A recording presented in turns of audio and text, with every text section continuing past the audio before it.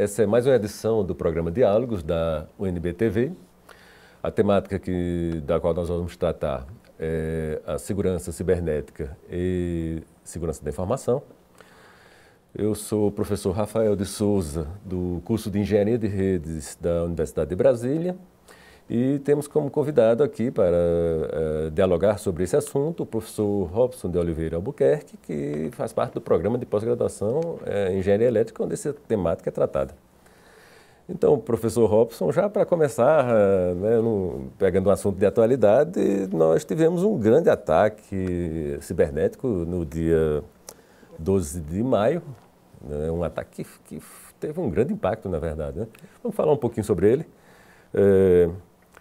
Como é que ele ocorreu, na verdade? Bom, o, esse, esse ataque ele aconteceu devido a uma falha de segurança que foi previamente divulgada por um grupo de hackers utilizando uma ferramenta atribuída ao governo americano através da agência de inteligência NSA deles, que é a Agência Nacional de Segurança deles. Uhum. E esses hackers pegaram uma parte desse código, fizeram uma modificação nele e embutiram uma funcionalidade para sequestrar os dados dos usuários, o que a gente conhece é o que, como É o que o pessoal chamava de o, é, WannaCrypt, né? O, o WannaCrypt. Um software ou, de distorção, na verdade. Né? Isso. Né? O, o nome do software que faz o ataque ficou difundido normalmente pelo nome de WannaCry ou WannaCrypt. E aí é um software em duas partes, né? Ele se propaga para o computador, a ser né, o alvo da operação, e lá naquele computador ele pega a informação que está lá de utilidade do usuário, fotos, Isso.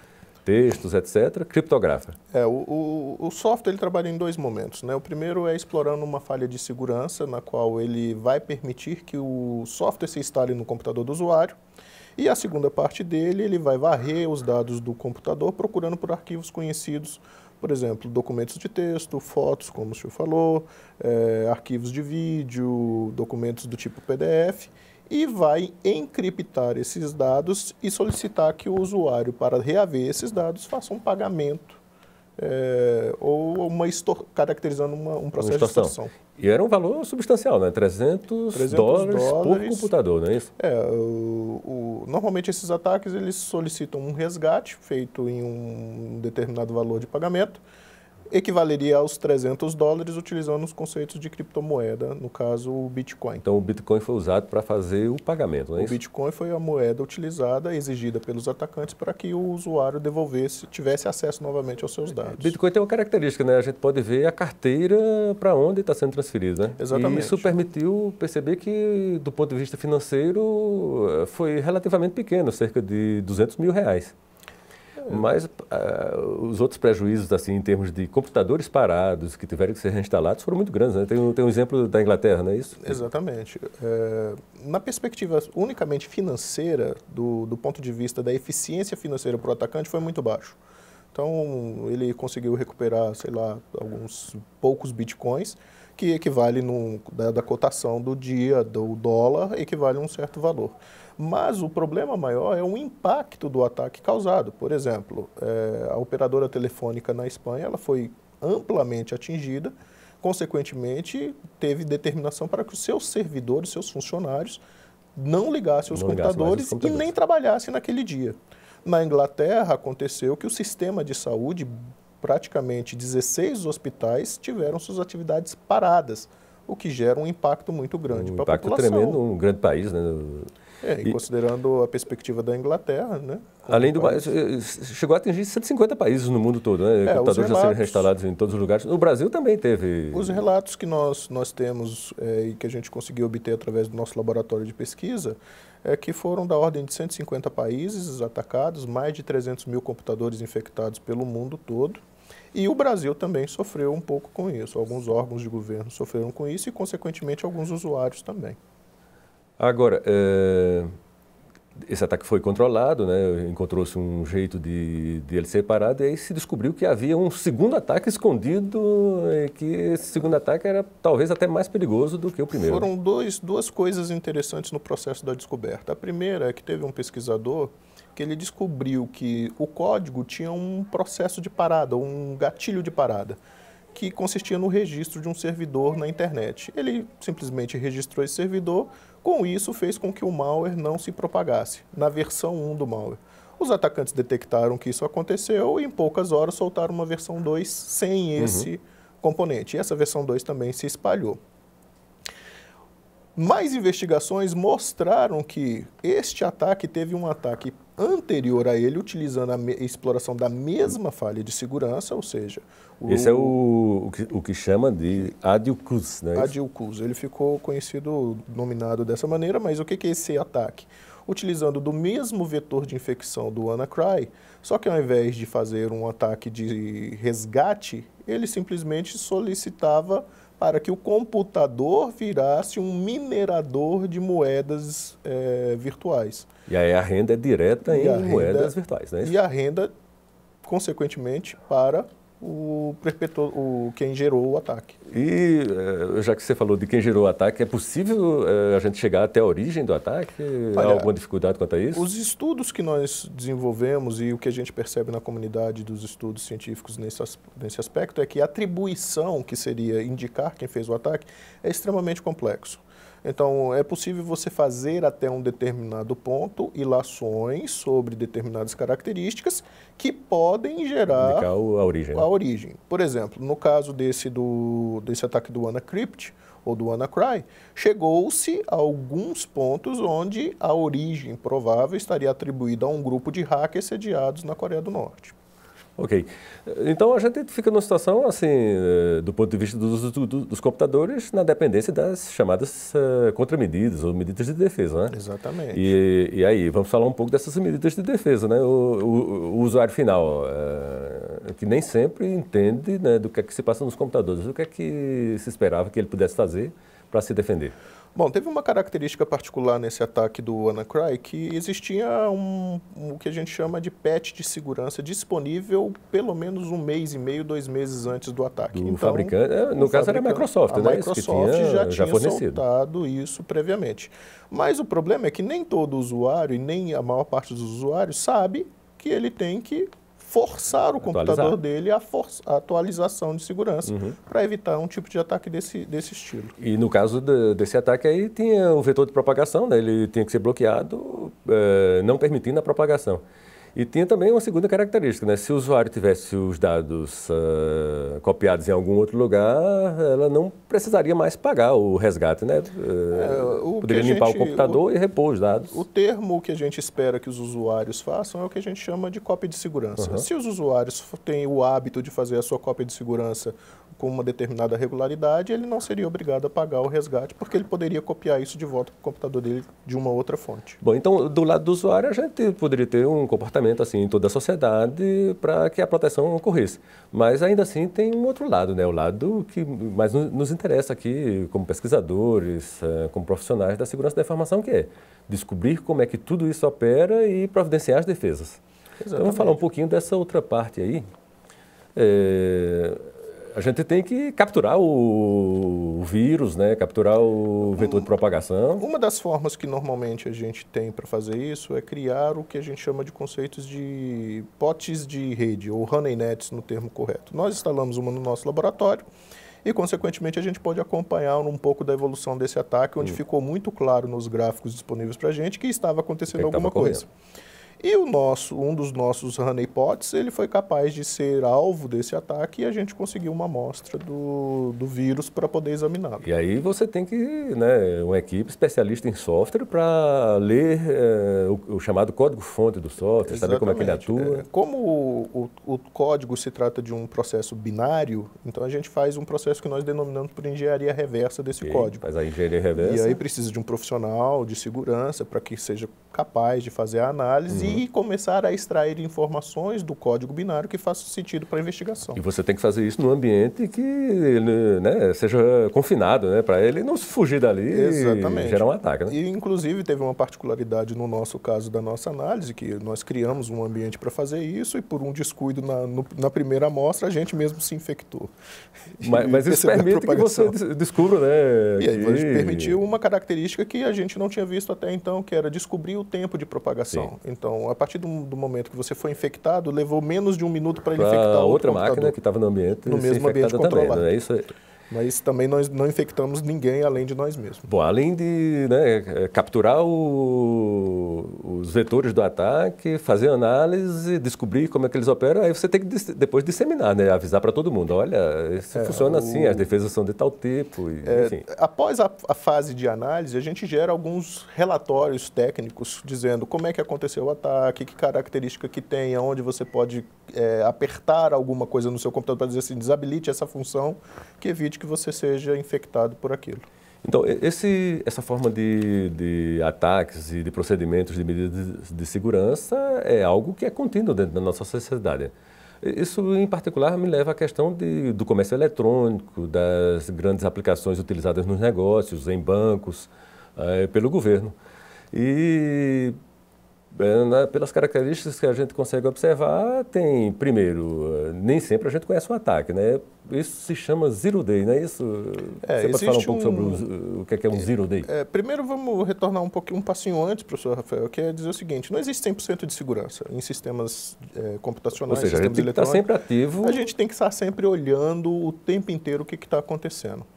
E esse, esse malware, particularmente do WannaCry, ele usou o que a gente chama de vulnerabilidade do tipo Zero Day, Uhum. Porque foi lançado e não se existia uma falha prévia para isso, até a Microsoft lançar o patch, mas que também levou um certo tempo para os usuários é, instalados. Ou seja, o, o a vulnerabilidade estava lá, mas a gente não conhecia mas não publicamente. conhecia publicamente. Então, um Zero Day, ele tem a seguinte característica como base, ele é um ataque na qual não vai ter uma defesa prévia eficiente para uhum. ele. Então, se nós formos vítimas de um ataque do tipo Zero Day, a nossa defesa, ela não pode ser baseada num conceito de assinatura porque ela não existe anteriormente. Então você tem que trabalhar com outros conceitos, como por exemplo detecção por anomalia, uhum. que vai te dar algumas características de, olha, está acontecendo alguma coisa diferente do padrão e a gente pode fazer algum tipo de inferência em cima dos dados que se tem. Por outro lado, esses softwares vão ficar dentro dos computadores durante um longo prazo, atuando ali sem que o usuário eh, tenha uma percepção né, de que está ocorrendo é, um problema. Né? Nesse caso do Zero Day, normalmente ele está envolvido com uma, uma ameaça persistente avançada, ou do inglês APTs, Advanced Persistent Threats que, por característica, ela pode ficar inativa durante um determinado período uhum. que o uhum. controlador dela julgue necessário até chegar a um conceito que a gente chama de janela de oportunidade. Por exemplo, está na hora de fazer o ataque porque encontrei Posso as condições dinheiro, necessárias. Enfim. E pode ser gerado, por exemplo, dinheiro com isso. Ok. É, isso significa, em particular, que nós vamos ter que ter as equipes de profissionais é, necessários para ter uma defesa ativa, né? E aí Exatamente. tem a questão lá de analisar, confinar, etc. Normalmente isso é atribuído ao que se chama de um blue team, né? É, no grupos, nos, nos conceitos de segurança, nessa questão de análise do que, que, está acontecendo, a gente normalmente divide em dois grandes grupos. O blue team, ou o grupo de defesa, ele é responsável por fazer análises constantes no ambiente, nas redes, nos sistemas, para detectar se está acontecendo alguma coisa além do funcionamento normal. Consequentemente, existe também a figura do que a gente chama de Red Team. Uhum. E o que, que é a função do Red Team? É simplesmente ficar explorando justamente aquilo que não se espera para detectar uma falha. Então, os dois trabalham conjuntamente, né? Você Exatamente. simula o ataque lá.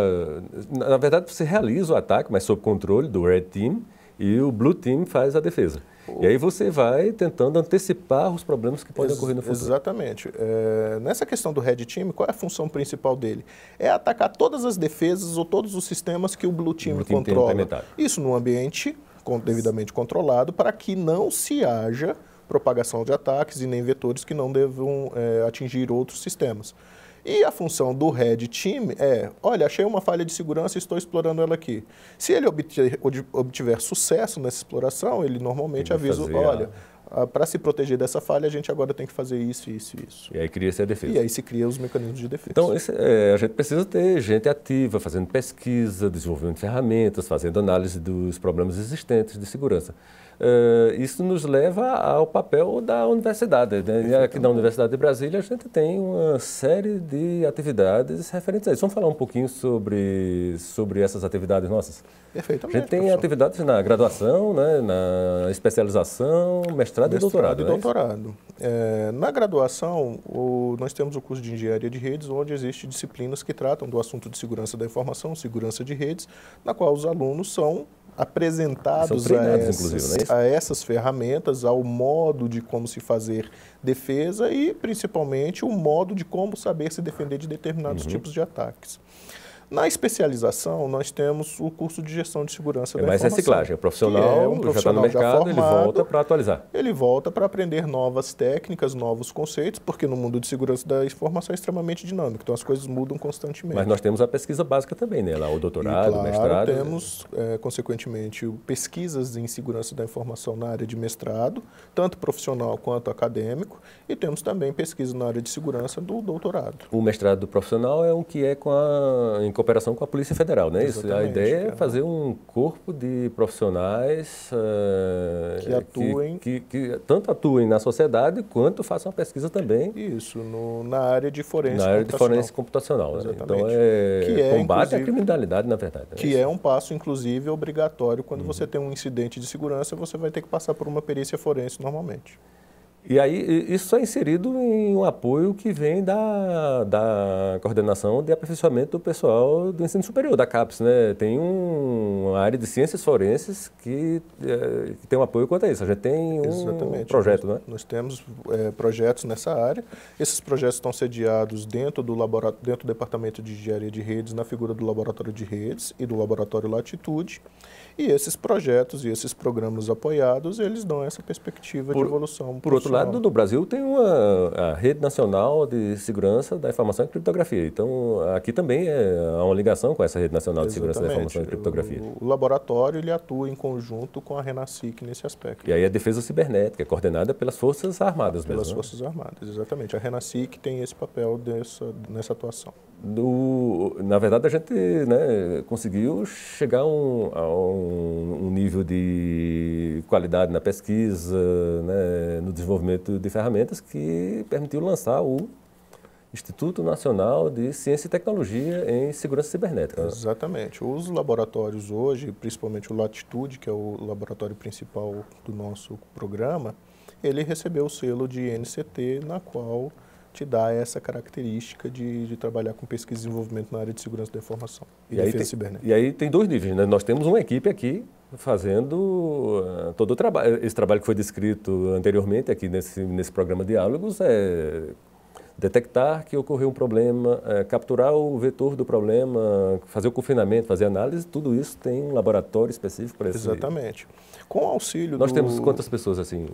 Hoje, no, no, laboratório, atuando nessa área, eu acredito que tem mais ou menos umas 10 pessoas atuando diretamente com essa parte de segurança, tanto da questão da infraestrutura para você manter o laboratório funcionando, quanto pessoas, alunos e bolsistas dedicados à pesquisa e desenvolvimento de soluções de segurança. Além dessa, de existir esse, é, né, essa equipe interna da UNB, existe uma cooperação com outras universidades e com outras entidades brasileiras. Né? Você pode falar um pouco dessa cooperação? Perfeitamente. É, eu, particularmente, eu atuo em conjunto com o pessoal da Espanha, com a Universidade Complutense de Madrid, na qual os trabalhos... É, Nós temos também a, a, na França, né? Na França, a, a Supelec, a né, Supelec é... com, com, com, na, na unidade de Rennes. Temos também parcerias com o pessoal na Unicamp para determinados tipos de atividades. É, temos também pesquisadores nos Estados Unidos que atuam Sim. nessa área. É, o, o, nosso grupo é relativamente amplo e com, com vários Na verdade, níveis uma rede nacional. Forma uma é, rede o, nacional. O Instituto Nacional de Ciência e Tecnologia, ele mesmo é uma rede, né? Exatamente, formamos uma rede nesse aspecto. E é, assim, a gente tem obtido resultados, temos publicações. É, Bom, na parte de publicações e de atuações de mestrado e doutorado, nós tivemos inúmeras defesas de, de, doutor, de mestrado na área do mestrado profissional, junto com a Polícia Federal, onde foram formados um bom número de alunos. Todos eles passam por um processo de publicação, então, para ele defender, ele obrigatoriamente tem que ter um índice de uma publicação. No doutorado também temos isso. Então, por exemplo, só esse ano nós já tivemos três boas publicações em revistas consagradas na área.